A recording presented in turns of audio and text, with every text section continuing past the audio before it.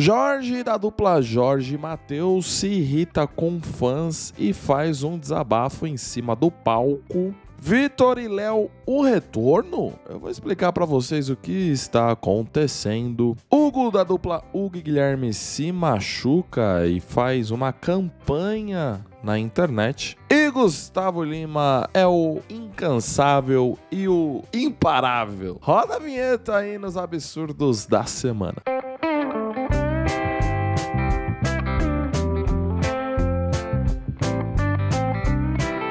A outra, hein, bonito? Bom, eu sou o Miller Bento, você está aqui no canal TV, meu sertanejo, canal mais sertanejo do Brasil.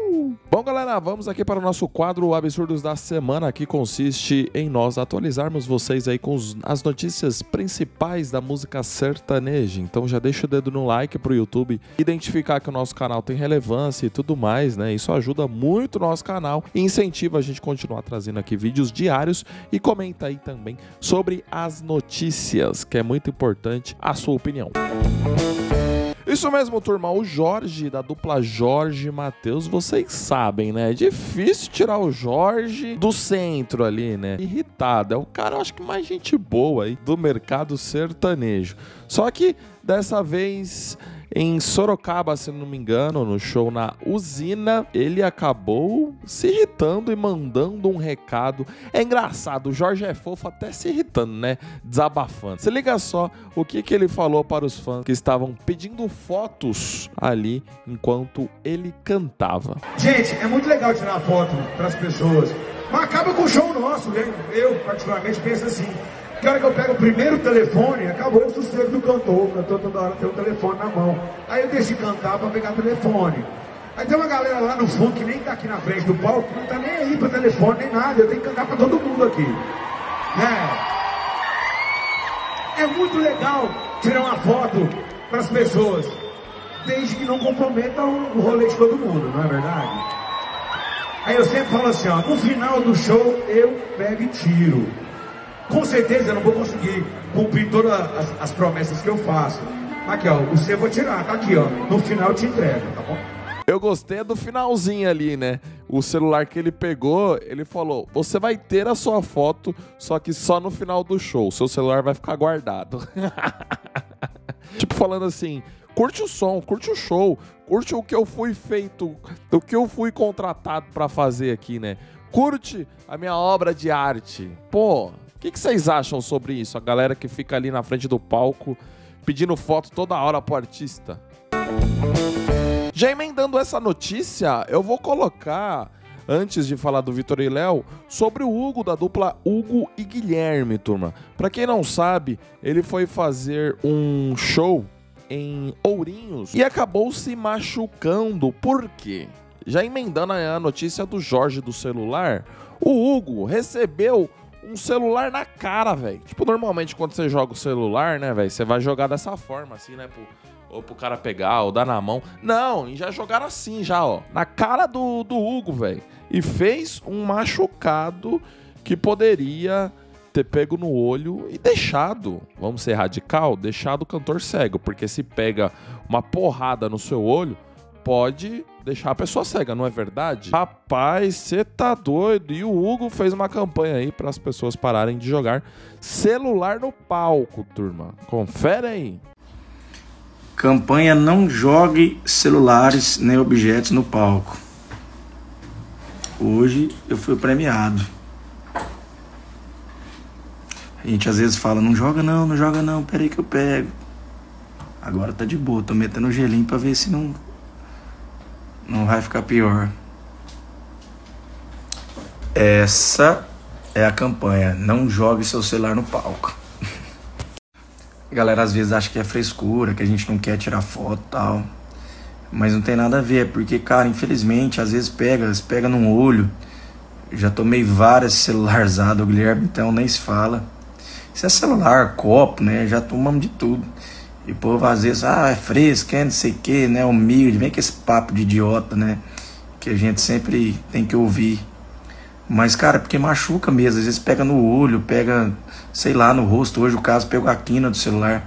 Mas vai ficar tudo bem. Ourinhos foi foda. Obrigado pelo carinho. Araçatuba mais cedo, incrível. Tá bom? Se Deus quiser, vai melhorar. Tô metendo gelo aqui para dar uma melhorada. E você que jogou, eu sei que você não tem culpa. Tá bom? Ainda tirei a foto mesmo com o olho rasgado assim. Pode olhar aí que a foto tá aí. Um beijo pra você. Era só ter esperado eu pegar, eu ia pegar.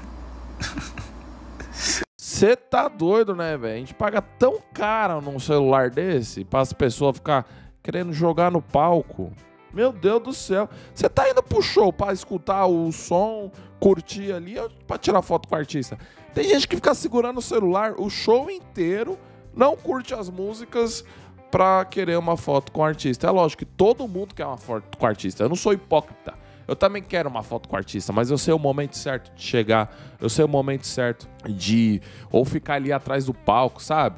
É, querer uma oportunidade. Às vezes a gente fica, a gente tem acesso às vezes, né, a bastidores e tudo mais. Mas às vezes nem assim. Eu vejo que ali não é o momento certo, não vou pedir, pô. Tem um momento certo. Então é complicado, né, turma, essa situação. Comenta aí o que, que vocês acham. E eu concordo totalmente com o Jorge e concordo totalmente com o Hugo aí. É, turma, a notícia do dia foi o retorno de Vitor e Léo? Interrogação. Isso mesmo. Tudo isso aconteceu porque o escritório Workshow, isso mesmo, eles acabaram publicando no Instagram deles. Para quem não sabe, o Workshow é um escritório, vamos dizer, o maior escritório aí da música sertaneja. É, o Henrique Juliano já fez parte desse escritório, não está mais lá. Zeneto Cristiano já fez parte desse escritório, não está mais lá. Quem está lá neste momento, que eu me recordo assim de grande, né? É Maiara Maraíza, é, Hugo Guilherme. Mas a Workshow está se renovando, então tem muito artista novo e bom lá, é, como a Alexia Reis, é, Neto Henrique e outras duplas, né? Que eu acho que essa é a nova proposta da Workshow, né? Contratar novos artistas e tudo mais, até porque eles perderam os grandes nomes, né? Podemos dizer, infelizmente, a Marília Mendonça, que Juliano e Zeneto Cristiano acabaram saindo do escritório e eles estão se renovando. E eles publicaram uma borboleta e um sapo. E escreveram assim: tem novidade das boas chegando na nossa casa. Então é contratação. Quem adivinha o que vem por aí? O que, vocês acham que é? E aí as pessoas estão chutando e todo mundo tá achando que é o retorno de Vitor e Léo. Por quê? É, Vitor e Léo tem a música Borboletas, né? Borboleta sempre volta. Eu não sou muito bom para cantar, mas enfim. E em relação ao sapo, é em relação à música Vida Boa, né? Que vida boa, oh, oh, oh, que vida boa. Sapo caiu na lagoa. Então, estão tentando associar aí o Vitor e Léo nesta notícia da Workshow.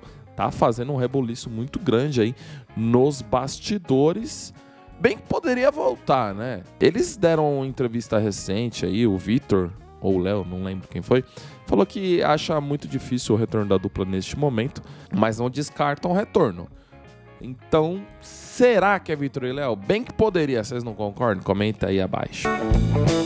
E uma notícia rapidinha aqui é sobre o Gustavo Lima. Para quem não sabe, ele passou esses últimos dias aí é, no Boteco em Alto Mar Pra quem não sabe, é um projeto do Gustavo Lima de navio de final de ano, igual tem o navio do Roberto Carlos, navio do Daniel, tem o navio também do embaixador, do Boteco. Então, ele chama diversos artistas e durante quatro ou cinco dias, acredito, eu gostaria muito de ir, mas tava muito caro. Então, tava complicado. A gente preferiu ir para Barretos também, que foi caro, mas agora pensando bem, acho que eu preferiria ir no Boteco em Alto Mar do que ir para Barretos. Eu acho que os valores eram equiparados ali. Até porque eu fui no Camarote Brahma lá no, em Barretos. E o Gustavo Lima, nesse projeto lá no, no navio, ele ficou dois dias seguidos amanhecendo, turma, fazendo os shows e tudo mais. A galera foi a loucura. Eu vou colocar alguns vídeos aqui para vocês conferirem. Cinco horas!